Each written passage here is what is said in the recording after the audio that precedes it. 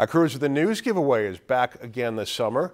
Every weeknight between now and the middle of August, we're announcing five potential qualifiers for our cruise giveaway. So if you see your name tonight, give us a call before 5 p.m. tomorrow and you'll be entered in the grand drawing. Tonight's potential qualifiers are Joanne Gardner of Bemidji, Frank Palava of Bemidji, Ashley Anderson of Pine River, Fred Luckeroth of Park Rapids, and Tom Lentz of Bemidji. Call us on that, that hotline number 218-333-3041 before 5 p.m. Wednesday to qualify for the grand drawing.